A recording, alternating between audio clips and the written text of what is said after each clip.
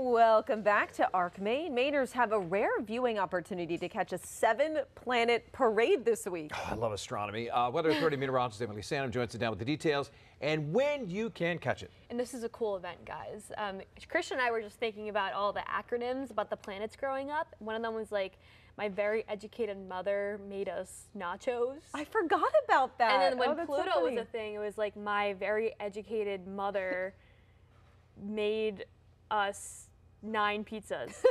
I think that's what it was. We were looking them up. There's like poems, Oh my gosh. and then we were making up our own. There My mind went to we were using parade as the to refer to the storms. Remember that Right? like stretch? We were like it's like a parade of storms, but now we're talking about parade of planets. So Yes. what are we talking about All right, here? so seven different planets will be visible through Friday night. Here they are. We are looking at a seven planet parade. You'll be able to see Mercury, Mars, Saturn, Venus, and Jupiter with just your eye, but you will need a telescope though for Uranus and Neptune. So this is a very rare event known as an alignment, and most of the time a viewer actually cannot catch all the planets at once, and that's thanks to the ecliptic. Planets follow an ecliptic, and we talked about that a little bit um, with the lunar eclipse and the solar eclipse last April. So the ecliptic is the plane in which the planets follow as they orbit around the sun at different speeds, but every so often, like what we're seeing tonight and tomorrow night, you can see them all in the night sky. So I've already seen some pictures online of people who have been catching it throughout the week, and you definitely need, there's like an astron- astronomer photographer out there. They've been working with the space.com website. And they needed like a fisheye and another different type. I don't know cameras very well, but like this other different camera.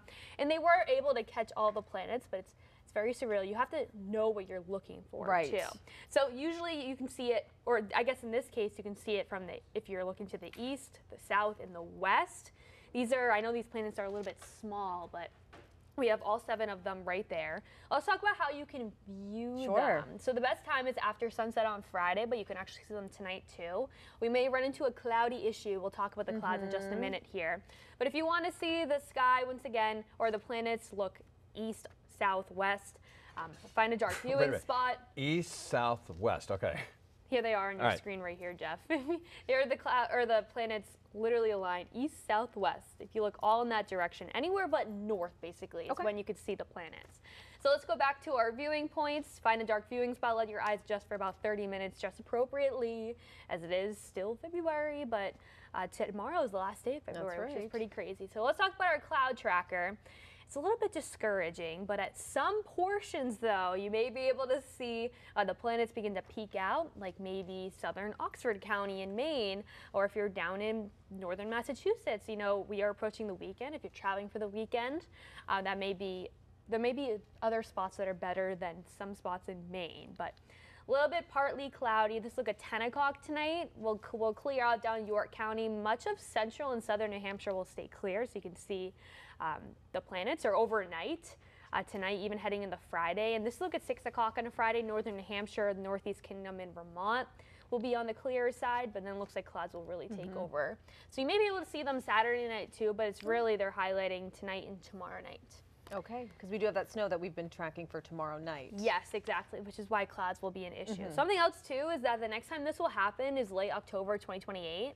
In this August of 2025, you can see four planets in a row. We've seen that quite a bit um, in January this past month too, that you can see four planets at the same time. But this is a very, very rare event, so we'll have to wait another three years, three and a half years to catch an event like this. Someone's going to get some great photos exactly. of this, and, we'll show them. Somebody's got some really nice telescopes Yes. too that you can uh, Oh, probably see the yeah. planets through. Uh, USM Planetarium. That's a great spot too, oh, by the way. cool. Exactly. You know what? We are dealing with a cloudy situation tonight and tomorrow night. Uh, so if you're anywhere else in the country, if you're traveling to this weekend, uh, you may be able to catch it if you got clear skies. Yeah, so. maybe we'll, let's keep track on, on social media and see if people share some maybe tonight into tomorrow. Maybe we could try to share some tomorrow. And we all have followers too outside Yeah. of New England. And so maybe I've already seen one picture from I think a couple days ago.